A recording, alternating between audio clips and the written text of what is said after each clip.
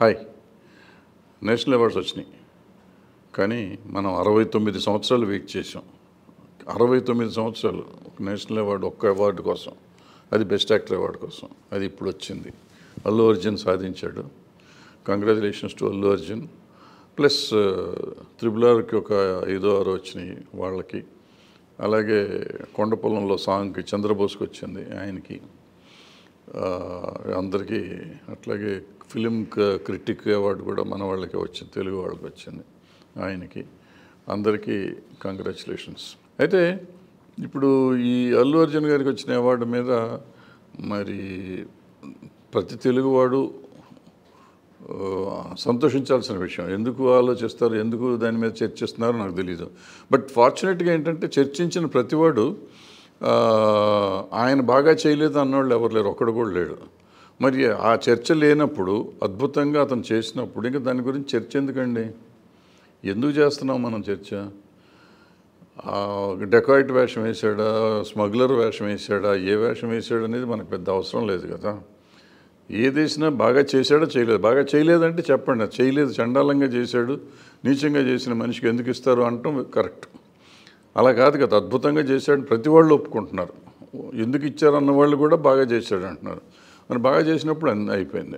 అది first point. Second point Ram చరణ్కి ఇవ్వలేదు ఎన్టీఆర్కి ఇవ్వలేదు ఈయనకి ఇచ్చారు. రామ్ చరణ్ ఎన్టీఆర్ ఈయన పోటీ పడుతున్నారని మనకు ఎవరికైనా తెలుసా? మనకు తెలియదు కదా అక్కడ ఎవరు పోటీ పడి నేషనల్ అవార్డ్స్ ఇవి తెలుగు సినిమాలు అవార్డులు కాదు కదా వీళ్ళు ముగ్గురే కంటెస్ట్లో ఉన్నారని మనం ఎవరికన్నా అనుకుంటున్నామా?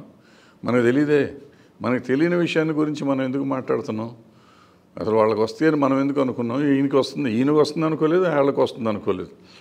లక్కీగా వచ్చింది. లక్కీగా కాదు నిజంగా ఆయన టాలెంట్కి వచ్చింది. కష్టపడ్డాడు. మనం గంగోత్రి అప్పుడు ఎలా ఉన్నాడు అల్లు అర్జున్? ఇవాళ ఎలా ఉన్నాడు అల్లు అర్జున్? అతని కష్టం ఎంత ఉంది? ఈ పది పది పదిహేను ఏళ్ళలో అతను పడ్డ కష్టం కానీ అతని transformation of his character celluloid మీద అతని ప్రజెన్స్ ఎంత తేడా కనపడుతుంది చూస్తే అర్థమవుతుంది. సో అతని కష్టం ఉంది అతని కష్టంతో వచ్చాడు. సో దాని మీద వాళ్ళకి రాలేదు వీళ్ళకి రాలేదు. దాన్ని ఇష్టం వచ్చినట్టు రంగులు పూసి చిరంజీవి గారి క్యాంపు అల్లు అరవింద్ గారి క్యాంపు వీళ్ళకి వాళ్ళకి పడతలేదు. వాళ్ళు చుట్టాలండి ఫ్యామిలీస్. ఆ, ఫ్యామిలీస్ కలిసి ఉండాలి మనం కోరుకోవాలి కానీ విడిపోవాలని చెప్పి మన శాడిజం ఎందుకంటే నాకు అర్థం కాల. వాళ్ళు విడిపోయారు అందుకని వాళ్ళ పోటీలో వీళ్ళకి ఇచ్చారు. ఒక అటువంటి జరగలేదు. ఒకవేళ జరిగింది అనుకోండి మన వాళ్ళు కలిసి ఉండాలనుకో ఎవరైనా కానీ వీళ్ళని కాదు. ఎవరైనా కానీ కలిసి ఉండాలనుకునే పాజిటివ్గా థింకింగ్ ఉండాలి కానీ మనం ఎంతసేపు ఎవళ్ళని విడకూడదాం ఎవళ్ళు విడిపోతే మనకి మనకైనా సంతోషమా? వాళ్ళిద్దరు కలిసి ఉన్నా విడిపోయినా మనకేం వచ్చేది లేదు రూపాయి వచ్చేది లేదు. మన పనేదో మనం చేసుకుంటే మనం బాగుంటే మనకు బాగుంటాం. వాళ్ళ సంగతి చూసి వాళ్ళని చూసి ఆ సాడిస్టిక్ ప్లెజర్ ఏంటో నాకు అర్థం కావట్లా. ఇలా పిచ్చి పిచ్చి ఆలోచనలు పిచ్చి పిచ్చి మాటలు మాట్లాడుకుంటూ ఇంకోడెవడో అంటాడు మెగా ఫ్యామిలీకి వచ్చినాయి అంటాడు. అరే త్రిబుల్ ఆర్కి వస్తే మెగా ఫ్యామిలీ ఎట్లా అవుతుంది? మరి ఎన్టీఆర్ ఫ్యామిలీ కదా రాజమౌళి ఫ్యామిలీ కదా? ఎవరు వీళ్ళు అంతా? ఎవరికి వచ్చినట్టు? కొండపొలంలో చంద్రబోస్కి వస్తే దానికి అది మెగా ఫ్యామిలీకి ఎట్లా అవుతుంది? ఏంటో మనం అంత పిచ్చెక్కిపోయినట్టు మనం మాట్లాడుతూ ఉంటున్నాం. ఎందుకు మాట్లాడుతున్నామో మనకు తెలియట్లేదు. సో ఇవన్నీ కొంచెం మానేసి మనం తెలుగు సినిమాలో ఒక నటుడికి వచ్చింది మన నటుడికి వచ్చింది మనవాడికి వచ్చింది అందరం సంతోషిద్దాం. అల్టిమేట్గా తెలుగు సినిమాకి వచ్చింది తెలుగు సినిమా విజయం ఇది. తెలుగువాడి విజయం దాన్ని మనం ఆనందపడదాం. ఉప్పినకి తెలుగు బెస్ట్ ఫిలిం వచ్చింది కంగ్రాచులేషన్స్ బుచ్చిబాబు మైత్రి మూవీస్ అందరికీ. ఈవెన్ మన దేవిశ్రీ ప్రసాద్ మ్యూజిక్ వచ్చింది. అతనికి పాపం ఎప్పటి నుంచో మ్యూజిక్ నాకు అవార్డు రాదా అవార్డు రాదా అని తిట్టేవాడు. అందరినీ అప్పుడు ఆయనకి డైరెక్ట్ నేషనల్ అవార్డు కొడితే ఏనుగు కుంభస్థలాన్ని కొట్టినట్టు కొట్టాడు అద్భుతం. ఎందుకంటే ఇవాళ సినిమాలు అన్ని భాషల్లో వెళ్తున్నాయి. వెరీ ఇంట్రెస్టింగ్ ఏంటంటే ప- పర్టికులర్గా పుష్ప మ్యూజిక్. మొత్తం దేశంలో ఏ భాషలో డబ్ చేసినా కానీ ఆ భాషలో సాంగ్ సాంగ్స్ సూపర్ హిట్ అయినాయి. దేశంలో అన్ని భాషల్లోనూ సూపర్ హిట్ అయిన సాంగ్స్ పుష్ప సాంగ్స్. సో నిజంగా వర్ది మ్యూజిక్ డైరెక్టర్ ఆయన ఆయనకి అవార్డు రావడం చాలా సంతోషం. కంగ్రాచులేషన్స్ టు దేవిప్రసాద్ గారు అట్లాగే. ఇకపోతే త్రిబుల్ ఆర్కి మోస్ట్ అక్లైమ్డ్ ఫిలిం వచ్చింది. హండ్రెడ్ పర్సెంట్ మోస్ట్ అక్లైమ్డ్ ఫిలిమే కానీ ఇది two twenty twenty one awards అని చెప్పారు. ట్వంటీ ట్వంటీ వన్ డిసెంబర్ ముప్పై ఒకటి దాకా సెన్సార్ అయిన సినిమాలు అని లెక్కేసి triple R twenty twenty one December ముప్పై ఒకటో తారీఖు సెన్సార్ అయింది కాబట్టి దీనికి అవార్డు ఇస్తున్నాము అని చెప్పి అనౌన్స్ చేశారు. అటువంటిప్పుడు ట్వంటీ ట్వంటీ టూలో రిలీజ్ అయిన triple R most acclaimed film at అవుతుంది? ట్వంటీ ట్వంటీ వన్లో రిలీజ్ అయిన సినిమాలే ఉండాలి కదా. టెక్నికల్ తప్పు ఒప్పు నేను మాట్లాడతలా.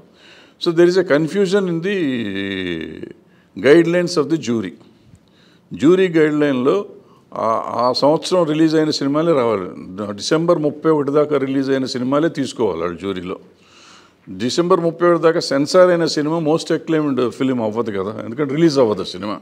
ముప్పై ఒకటో తారీఖు రిలీజ్ అయ్యి ముప్పై ఒకటో తారీఖు సెన్సార్ అయ్యి ముప్పై ఒకటో తారీఖు రిలీజ్ అవ్వదు కాబట్టి ఆ సినిమాల్ని మనం తీసుకోకూడదు. తీసుకోవచ్చు. ఎప్పుడు సెన్సార్ అయ్యింది కాబట్టి ఎప్పుడు రిలీజ్ అయ్యి హిట్ అయినా ఈ సంవత్సరం తీసుకోవచ్చు.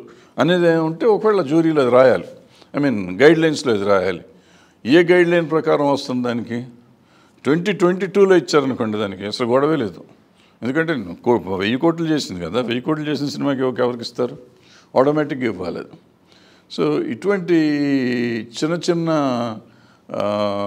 కరెక్షన్స్ చేసుకుంటే జ్యూరీలో జ్యూరీ గైడ్లైన్స్లో ఇంకా వాళ్ళ జ్యూరీకి కూడా కంఫర్టబుల్గా ఉంటుంది. వాళ్ళని ఇబ్బంది మనం నాలాంటి వాళ్ళు పని లేకుండా యూట్యూబ్లో కూర్చొని దీని గురించి ఇటువంటి వాటిని గురించి మాట్లాడటం లేకుండా ఉంటుంది. వాళ్ళు న్యాయంగా ఇచ్చినట్టే ఉంటుంది. ఏదేమైనా కానీ మన తెలుగు వాళ్ళకి ఇన్ని అవార్డులు వచ్చినందుకు first time congratulations to everybody. ఇకపోతే మనం ఇవన్నీ అంటున్నారా? వీటికి నామ్స్ మీద మాట్లాడాలి. దాన్ని సపరేట్ చర్చ పెట్టుకుందాం.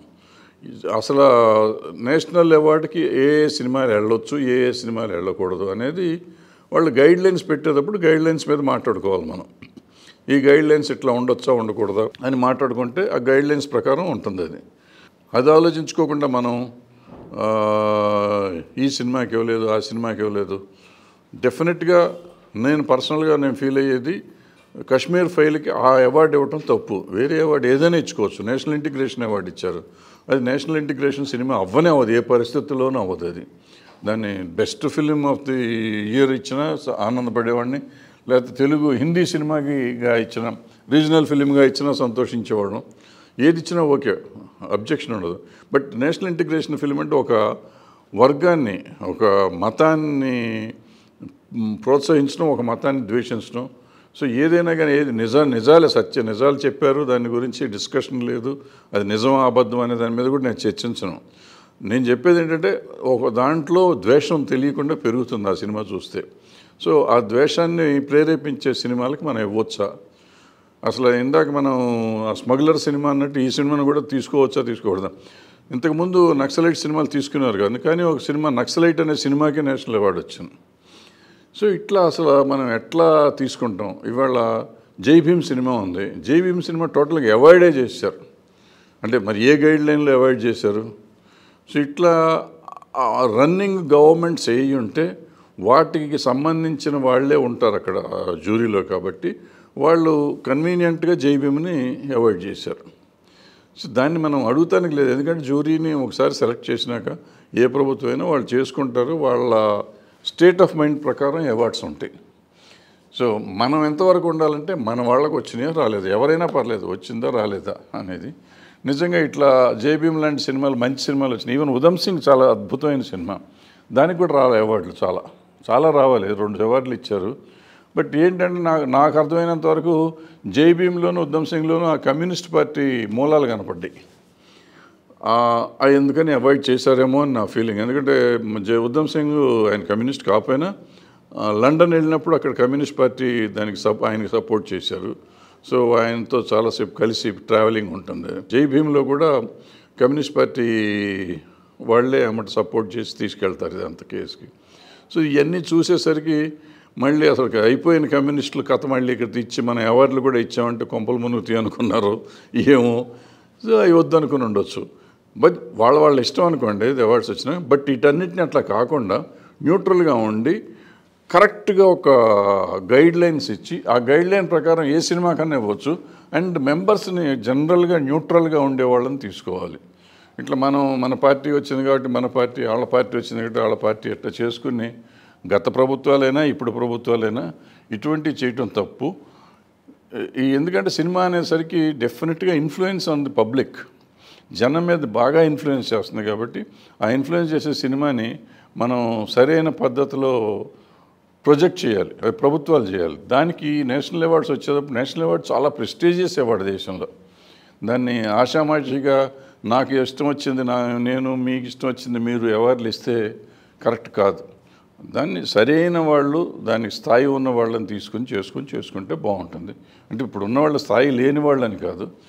ఐడియాలజీ టిల్ట్ అయ్యే వాళ్ళని కాకుండా న్యూట్రల్గా ఉండే వాళ్ళు ఉంటే బాగుంటుంది. అట్ ద సేమ్ నేను ఏదో లెఫ్టిస్టులకి ఇవ్వండి అని వీళ్ళు రైటిస్టులు అని నేను అనట్లేదు. సో న్యూట్రల్ ఫీలింగ్తో సినిమాని సినిమాగా చూసేవాళ్ళు సినిమాని అభినందించేవాళ్ళు దేశాన్ని ప్రేమించేవాళ్ళు ఉంటే బాగుంటుంది అనేది నా feeling. Thank you very much.